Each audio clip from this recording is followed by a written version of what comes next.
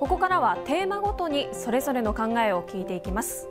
まずは人口減少対策そして子育て支援策についてです。こちらご覧ください。これは去年までの20年間の県内の人口と出生数の推移です。まずこの青いグラフ人口を見ていくと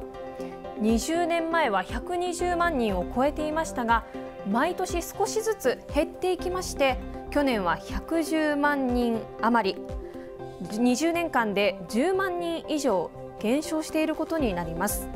そして赤いグラフが出生数ですが20年前1万人を超えていました。それがぐんと減って20年去年では7044人と6000人台が目前となっています。子どものいる有権者は県内の子育て環境をどう感じているのでしょうか。そしてその声を聞いたお二人の考えも合わせてご覧ください多分その所得に応じて結構な額になるのでこうパートとかで働いてても、まあ、半分ぐらいなくなったりする人とかも多分いると思うのでなのでそういう面でタダになると特に女性は復帰しやすいのかなっていうのはありますね。子供のうんとやっぱりその自然で遊べるのはすごくいいことだと思うんですけど公園も欲しいですね。もっと欲しいですね、うんと、いっぱいあるのはあるんですけど日田市は、うんと、子どもの人数すごく多いと思うのでに対してはちょっと少ないかなと思うのですね、うん、欲しいなと。なんか中津に行ったりとかもしたりするので公園に。はい保育とかですねそれから幼稚園に通う、えー、そのですね、えー、負担をできるだけ小さくしようということであの無償化ということも進められていますけれども例えば0歳1歳2歳のところはまだあの費用がかかりますしあのまだまだ、えー、そういう負担をですね軽減する余地はあると思います。まあ、片方で例えば、えー、幼稚園の先生とか保育士さんとかですねそういう方々の給与も処遇もまた上げていく必要があると思うんですね。そういう意味でさまざまな子育て環境をしていかないといけません。その一つでやはり遊ばせるところ。例えばあの子どもルームとかですねそういうのを、ま、大分市なんかでは整備してますけどいろんなところで遊ばせていただいてそしてお母さん同士があの仲良しになってですね子育ての悩みをまた共有してもらうようなそういう場の整備、まあ、講演も含めてですねそういうことも大変大事だと思います。家族だけお父さんお母さんだけがやるとかもうそういう状況でもないと思うんですよね。やはりこう共働きじゃないと生活も成り立たなくなったりとか、まあ、故にやはりそういう子供を預けたりする場所もちろんその保育園っていうのもあるでしょうしやはりその地域社会で支えていくということも大事だと思うんですよね。一方でよく私が聞くのがやはりお母さんたちがこう、まあ、孤立をしてしまうというか相談する人がいないとかなのでやはりそういうのでちょっとこう行き詰まってしまう、まあ、この間もちょっとあの中津で不幸なあの事件事故があったと思うんですけどもやはりそういうのをこう地域社会で支えたりとかみんなお母さんたちが集まってこうざっくばらんにいろいろこう相談し合えるような、まあ、そういう場を作っていくっていうことは非常に重要だなと思います。基礎自治体が中心にはなりますけども、まあ、当然県としても支援をしていきたいと思っています。続いては観光や産業についてです。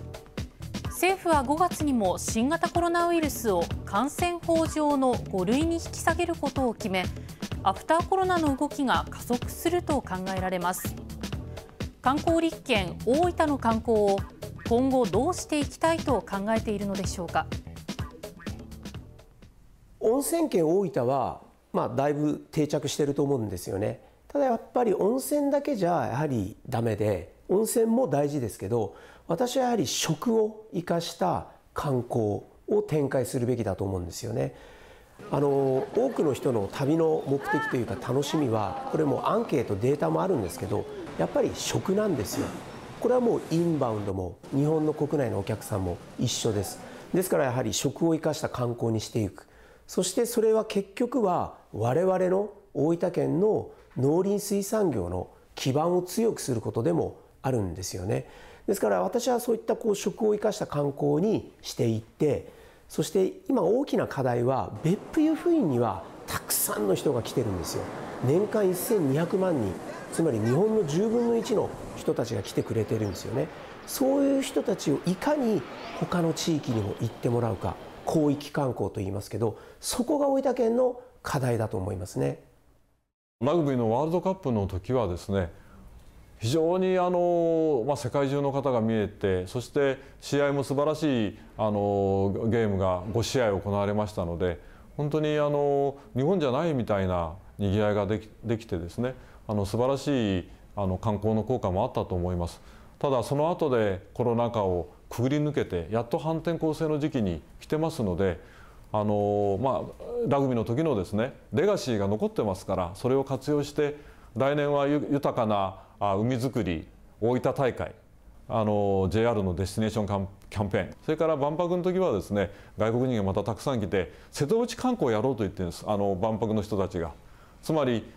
関空に来た人が万博行った後に瀬戸内を通って九州観光して福岡から帰っていただきますというそういうことをも提案を受けてますからそういう契機を活用してですね観光をですね。あのまた中国もまたもうあの戻ってくると思いますけど。そしてもう一つ。県内の観光振興に効果をもたらすと期待されているのは大分市と空港を結ぶホーバークラフトの復活です。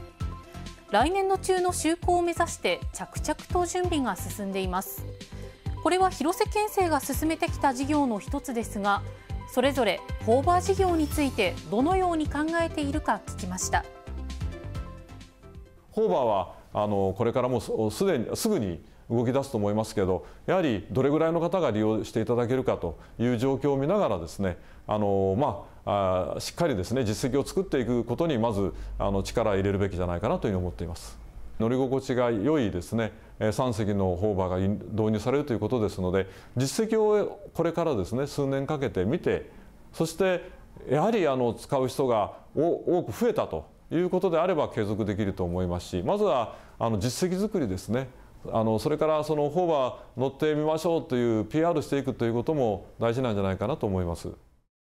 ホーバークラフトに関して言うとこれ大分県はもともと20年間で600億円の経済効果があると。そのうちの約400億円がホーバー目当てに来る観光客そういう人たちが泊まると言うんですけどそこが私ちょっとやっぱ疑問なんですよね。ホーバークラフトっていうのはあれイギリスの会社で作っていてメンテナンスも結局全部イギリスでしかできない。部品の購入もイギリスでしかできない。相当にやっぱりコストはかさんでくると思うんですよね。赤字を垂れ流すわけにはいかないのでもし本当にそういった状況になるんであれば見直しは当然だと思いますけどもね。